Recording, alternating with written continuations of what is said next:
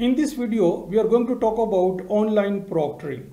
It is when you are taking an online examination or assessment from a remote or a distant location. So via the internet, you are monitoring the students, you are verifying their identity, and you are trying to maintain the integrity of the examination.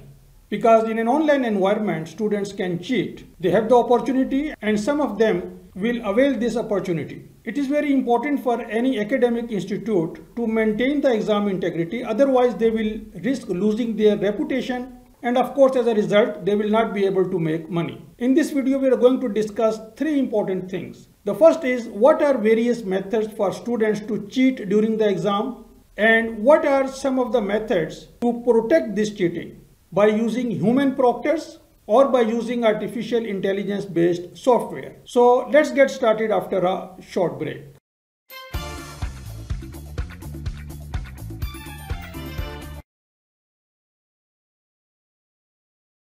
So let us understand how online proctoring works. We will talk about what are the problems and problems basically arise from the ways students articulate their cheating method. And then we will talk about what are some of the tools and techniques used to prevent cheating in online exams. So this video has three important parts. Three main topics are discussed in this video. First is cheating methods used by students in online exams. Then we will discuss how remote human proctoring maintains the exam integrity. And then we will see how an online proctoring tool or software maintains the exam integrity. So first let's talk about the cheating methods commonly used by students. The first method is called impersonation. When students arrange some other person to take the exam for them who is a subject expert. The other method is when students talk to someone from their family members or friend and seek help. And another popular method was to use Google to find answers. Then probably the best method from a student perspective who wants to cheat is the ability to use phone. So what they do is they keep the phone hidden or I would say camouflaged within their range. And when exam starts, they get the phone and then it's all easy. Because then they have many applications using which they can communicate to other friends and family members and they can even get some pictures images and solved questions as well. Now this is one of the latest methods that now some applications allow students to share their screens or even give control of their screens to someone else. Remote control of the desktop screens so this is a very powerful method where someone else is controlling the screen of the student and answering the questions. Then they can also hang something on the wall with some important information. Then another very popular method is that they use some advanced electronic devices such as tiny Bluetooth devices and then they connect that device to their phone and they communicate. Similarly, they try to use SD cards, USBs, and very small USBs can be easily camouflaged when the human proctor is examining the environment of the student, which we are going to discuss in a minute. And another very important technique is that students deliberately disconnect from the internet, pretending that the connection is weak. And they get some time because most proctoring tools, they allow some time to reconnect. And during that short period of time, they try to get some important information about their examination. And because some of the proctoring tools, they also check the gaze or the eye movement. So students use few techniques to hide their eye movement by manipulating with the light in the environment. So they change the light levels so that software or humans won't be able to check their eye movement. Then another technique is that they try to find a blind spot for example, near the screen of their laptop or any other blind spot which is hidden from the human proctor because human proctor will be monitoring their environment as we will discuss in a minute and then they put some important information on that blind spot. Then another method is that they try to put a thin layer on their webcam to decrease the sensitivity of the online proctoring tool because those tools work on artificial intelligence algorithms and clear visibility makes them efficient, but if they blur the visibility just a little bit, so the tool might not report an incident. Now, let's see how human proctor can maintain the exam integrity. So there are few things they do. The first thing is that they act as a deterrent. When students know that someone is monitoring them, they tend not to cheat in the exam. So this is the basic job of a human proctor. Then they also verify the identity of the student. They ask student to show their identity cards and they try to verify with the information they have. And they also use two cameras instead of one.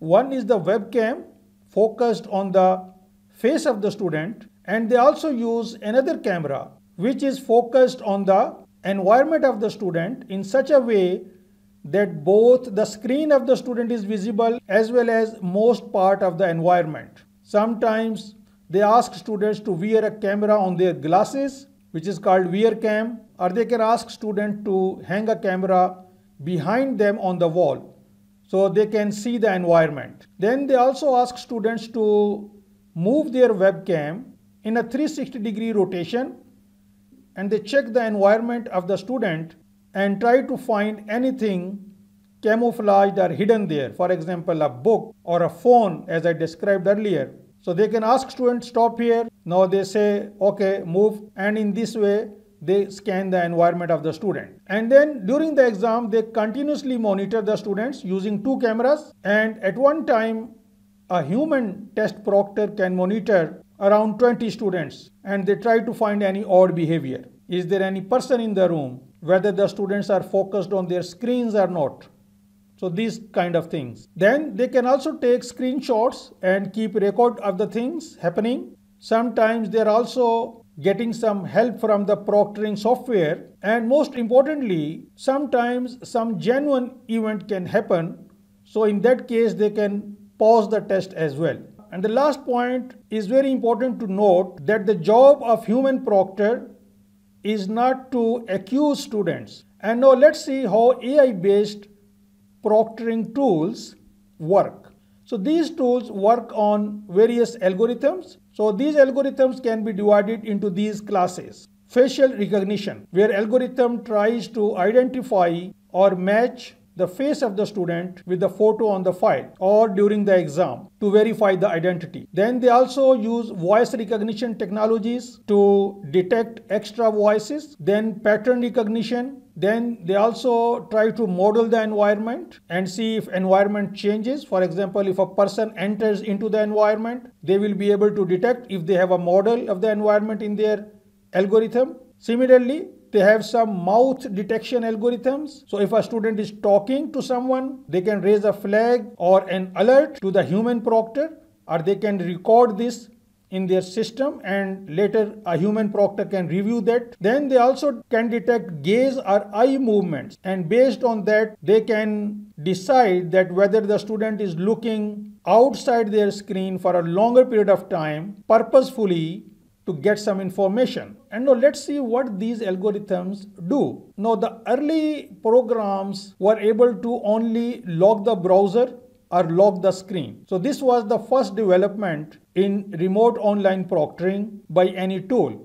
So we got tools for locking the screen, locking the browser. I don't want to mention those tools here, but these were the first kind of tools. Then we got the tools which were able to verify the identity by using these artificial intelligence or machine learning algorithms. They can also record audio and video. They can detect the presence of another person using the algorithms which we discussed earlier. They can also detect sound and raise flag or generate alerts. And if there are some flags, so what human reviewer or the proctor will do, they will see the alert, they will note the time and then they will see whether it was the test proctor who was giving instructions or it was some other sound. And this is the time where students also want to talk to someone when they are getting some instructions. So you have to review it and decide whether students were also talking to someone else at the same time or not. Similarly, these tools can also detect unusual gaze, unusual direction in which students are looking and based on their proprietary algorithms, every tool differs a little bit. So they can also have some other flags and alerts in which every tool is different. So you have to look at the individual tool and decide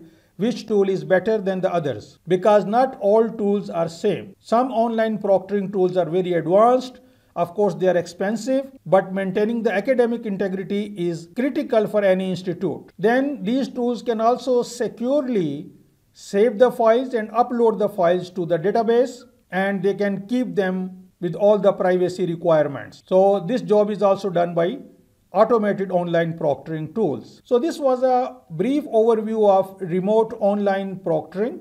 I hope you find this video useful and informative. If so, please give it a thumbs up. Thanks for watching and see you next time.